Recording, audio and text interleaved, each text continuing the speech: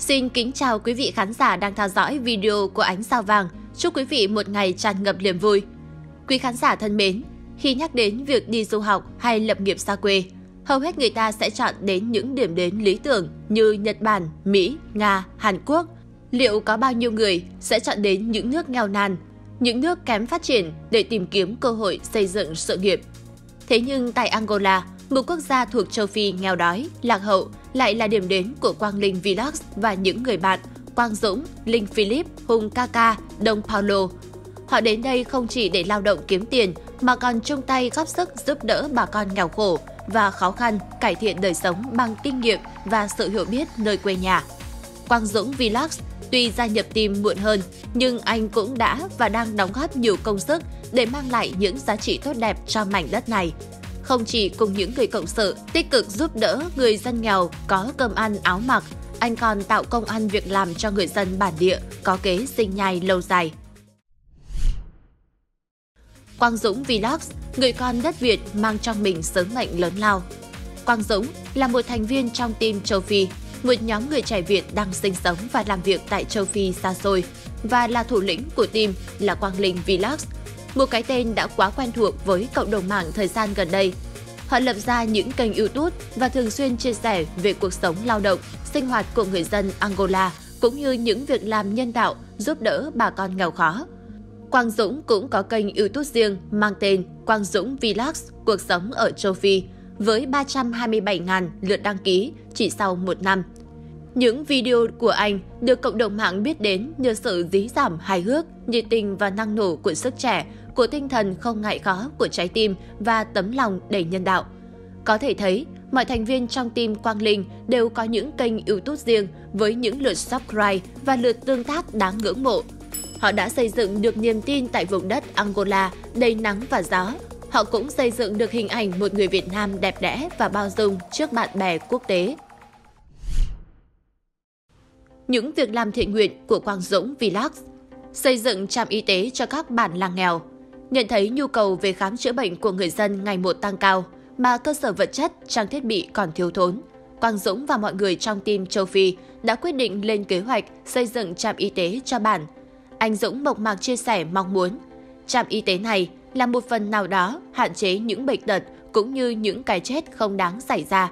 Sau này, đây sẽ là nơi trao đổi học hỏi tiếp thu kiến thức khỏe của dân toàn bản để mọi người có thể hiểu biết hơn về tầm quan trọng của sức khỏe, bảo vệ sức khỏe bản thân và gia đình.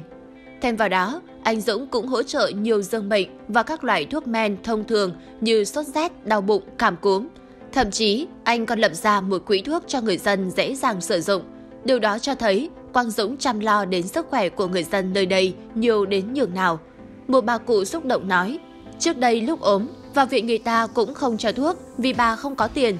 Từ giờ, bà và mọi người trong làng đều không phải lo lắng thuốc thang nữa rồi. Cảm ơn các cháu rất nhiều.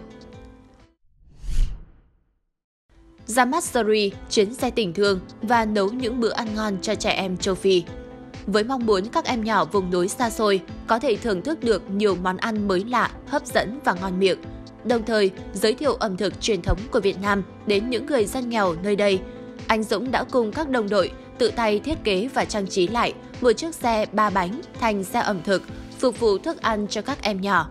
Tuy không biết nói những lời cảm ơn hoa mỹ như những người lớn, nhưng mỗi khi thấy Quang Dũng đến, các em đều đồng thanh cất tiếng hát mộc mạc để thể hiện lòng biết ơn.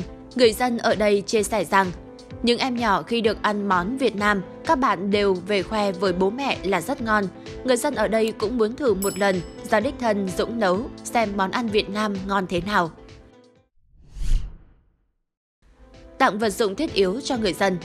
Có lẽ do xuất thân là một thầy giáo nên Quang Dũng khá chu đáo tỉ mỉ, anh luôn quan tâm đến mọi người dù là những điều nhỏ nhặt nhất.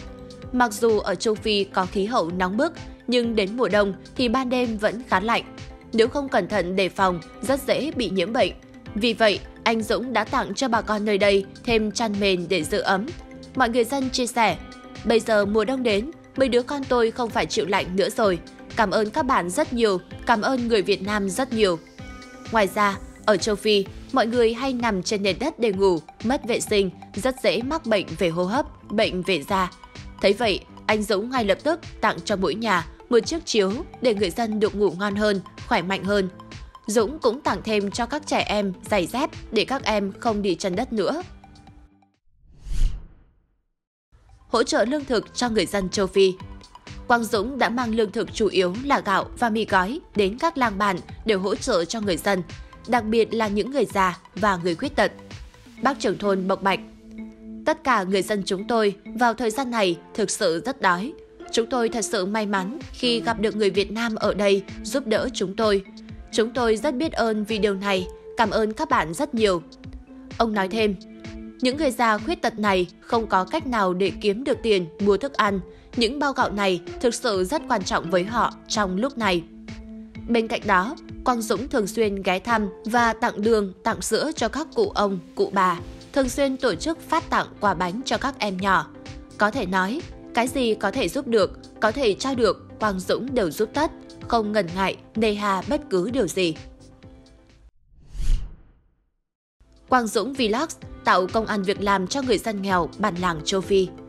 Để giúp người dân trong bản có một công việc ổn định và tăng thêm thu nhập để trang trải cuộc sống, Quang Dũng Vlogs đã tập hợp những thanh niên trong bản lại và hướng dẫn nghề làm gạch cho họ. Anh chia sẻ, đây là sự giúp đỡ về lâu về dài cho bản vì chúng tôi không thể ở mãi để chu cấp lương thực cho mọi người thường xuyên được. Mọi người phải tự làm việc để kiếm tiền lo cho gia đình và tương lai. Quả thực, nếu chỉ cung cấp lương thực, nhu yếu phẩm cho họ mà không hướng dẫn người dân tự tạo ra công ăn việc làm để kiếm lương thực, cải thiện cuộc sống, thì đời sống người dân nơi đây sẽ luôn luôn khó khăn, đói kém. Một khi Quang Dũng rời đi, thì cuộc sống của người dân nơi đây sẽ lao đao, điều đứng, vì không biết làm gì để kiếm được tiền. Hiểu được tâm lý này, anh Dũng tận dụng kinh nghiệm lâu năm của mình về nghề làm gạch để hướng dẫn người dân, giúp họ có thể tự mưu sinh trên chính mảnh đất thân thương của mình. Đầu tiên, anh YouTuber và mọi người phát quang cây cối, bụi rậm để mở đường thông thoáng thuận tiện cho việc vận chuyển nguyên vật liệu. Bác trưởng thôn mừng rỡ nói, Bác rất vui vì nhìn thấy tương lai thanh niên trong bản sẽ có được công việc ổn định ngay trong chính bản làng họ. Cảm ơn cháu rất nhiều. Sau đó, anh Dũng cùng mọi người lên phố tìm mua khuôn gạch cùng một số đồ lao động cơ bản để bắt đầu hành trình dạy và học. Buổi học đầu tiên, ai nấy đều hân hoan, vui sướng và phấn khởi. Tuy còn lạ lẫm, nhưng họ đều hạnh phúc khi có thể biết thêm một cái nghề, rồi sau này họ có thể tự kiếm sống và tự làm chủ cuộc đời. Sau một thời gian hoạt động, thì xưởng gạch cũng nhận được khá nhiều đơn đặt hàng, trong đó có sự ủng hộ nhiệt tình của các bản làng nơi anh Đông Paulo và anh Hùng Kaka đang sinh sống. Một bác lớn tuổi trong đội làm gạch bày tỏ, Tôi và mọi người sẽ không bao giờ quên những gì người Việt các bạn đã làm cho chúng tôi. Các bạn đã giúp chúng tôi chống đói, tạo việc làm cho chúng tôi. Thật sự cảm ơn các bạn đã đến đây và thay đổi cuộc sống chúng tôi. Người dân bản địa nhiều lần tìm tới và mua gạch trong xưởng của anh Dũng. Thậm chí họ còn giới thiệu bạn bè khắp nơi ở Angola. Việc mở xưởng làm gạch, xưởng đá thực sự rất khó khăn. Ngay cả cái ăn, cái mặc hàng ngày cũng chẳng đủ. Vậy thì thử hỏi, tiền đâu ra để mở một xưởng gạch? Nhưng khi Quang Dũng và những người anh em xuất hiện, tất cả ước mơ và mong mỏi đã trở thành hiện thực. 100% vốn ban đầu đều do anh Dũng bỏ ra, nhưng khi có lợi nhuận, anh không hề lấy một đồng nào mà chia hết cho tất cả các công nhân trong xưởng. Sau khi mọi thứ đi vào ổn định, Quang Dũng Vlogs sẽ bàn giao lại xưởng gạch này cho người dân bản địa.